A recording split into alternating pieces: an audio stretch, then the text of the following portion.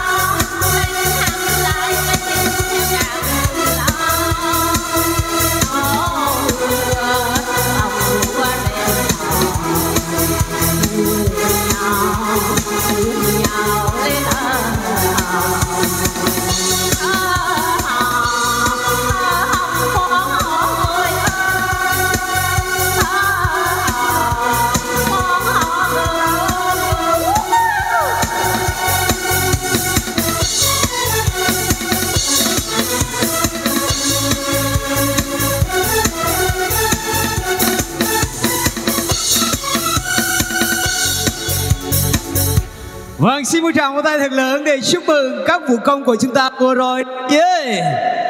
Và đặc biệt đó là đó là dòng ca đã tỏa sáng, đã làm sân khấu của chúng ta tạo nên một cái bầu không khí rất là rực rỡ luôn. Đó là dòng ca Cô Huệ đã mang đến cho tất cả quý vị.